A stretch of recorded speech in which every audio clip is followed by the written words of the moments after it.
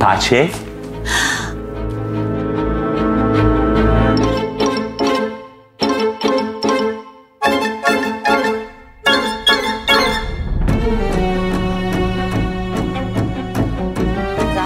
No, pensavo che avevi detto che la cosa dell'occhio non ce l'avevi dalla nascita. Sì, Non ho mai cercato di farle del male, Camille. Stavo provando a salvarla. Che non c'è più alcuna impronta. Sì.